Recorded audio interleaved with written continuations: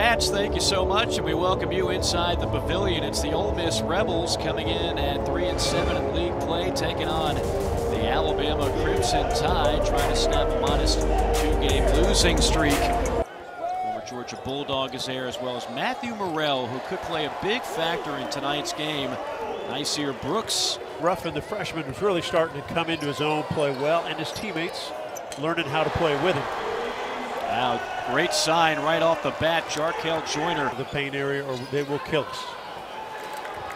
They've all proven they can win games, and they've done it against this Alabama squad. Beautiful take that time by Matthew Murrell. I think his progression's great. They would love to see him more consistent, but that's pretty common for a sophomore. Wow. Joiner in the zone, his third made bucket already. Joiner has had the hot hand already, nine points, looking for two more. Joiner has not missed a shot. Into the corner, open three on the way, knocked down. Austin Crowley, six-point lead for Ole Miss, thanks in large part to Jarkel Joiner. There's a three from the corner. This is a great ball on-ball defender. Tough shot for Joiner. Wow. wow. Into the corner. Sets up an open tray. Ole Miss is on fire. That's Sammy Hunter, but a long rebound to Ole Miss. Ball movement. Three ball. Yes. A scratch and claw, and people are saying, well, they're not quite the Elite Eight team from a year ago, and they lost a lot of guys. As Murrell drains a three. They beat A&M. Right. And Pinson was good.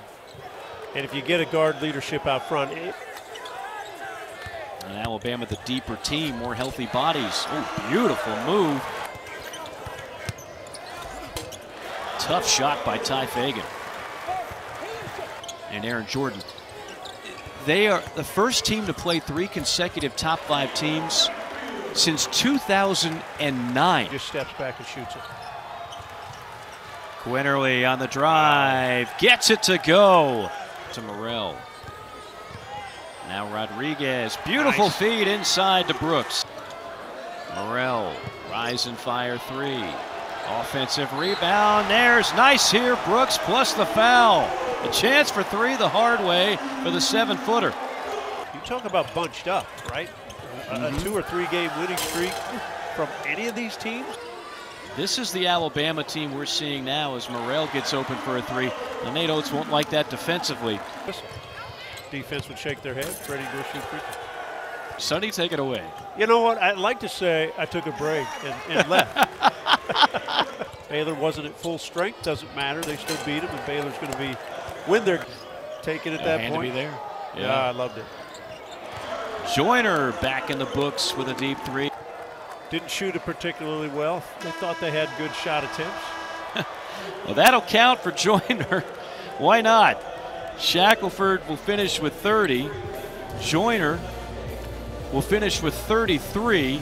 And Alabama will walk out of Oxford with a 97 83 win.